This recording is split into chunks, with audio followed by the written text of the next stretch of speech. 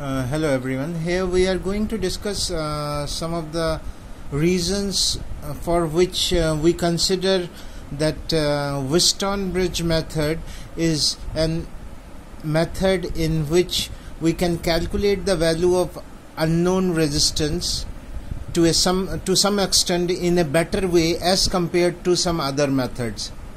Like we can uh, measure the value of resistance by using an ammeter to measure the current if the voltage is known or we can use a voltmeter to measure the resistance if the current is known. So there are different ways in which we can measure the resistance but this method is advantageous as compared to the other methods like we have already considered in the Wheatstone bridge it is a set of four resistances P, Q, R as where R is the variable.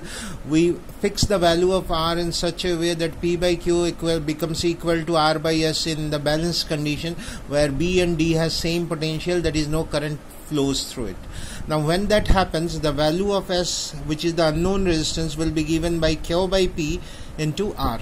So this method of calculating the unknown resistance is a much more accurate resistance uh, me, uh, accurate method as compared to other methods. Uh, let us discuss why it is so. The first is it is a null method.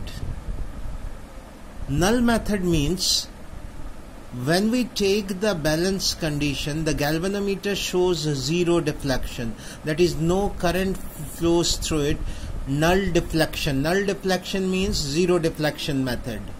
So it is called a null method where the current through the galvanometer is zero.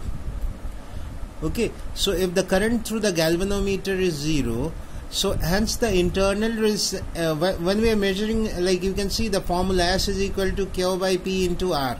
So the internal resistance of the cell which we are using here and the resistance of the galvanometer they don't have any effect on the null point. So the null point is actually decided by the ratio of PQ and R and S. So the resistance of the galvanometer neither the internal resistance of the cell uh, cell have any effect on this method.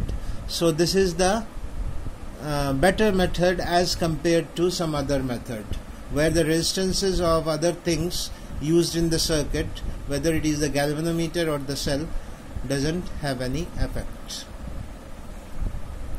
Now again when we uh, measure the resistance uh, of a given conductor we have to either use a voltmeter if the current is known and then we can measure the resistance. Or we have to use an ammeter where if the voltage is known then we can measure the resistance. But in both the cases whether we are using a voltmeter or an ammeter they have their own resistance which affects the calculations.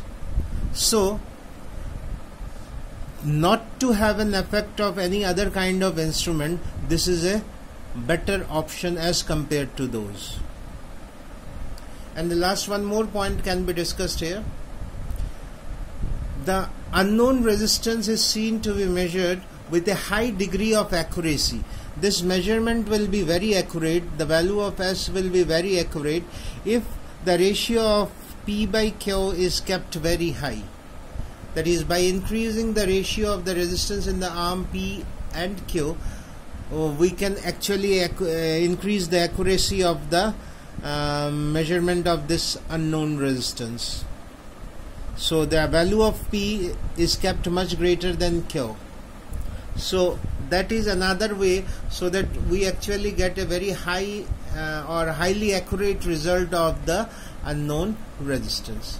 I hope this is clear to you uh, that why actually we uh, prefer the Wheatstone bridge method to find the resistance of a conductor as compared to any other method.